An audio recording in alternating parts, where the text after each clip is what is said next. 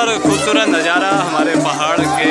पारंपरिक छोलिया नृत्य और जिसकी बात ही कुछ निराली है और हम सभी जब भी इसे सुनते हैं तो हमारे अंदर से झूमते हैं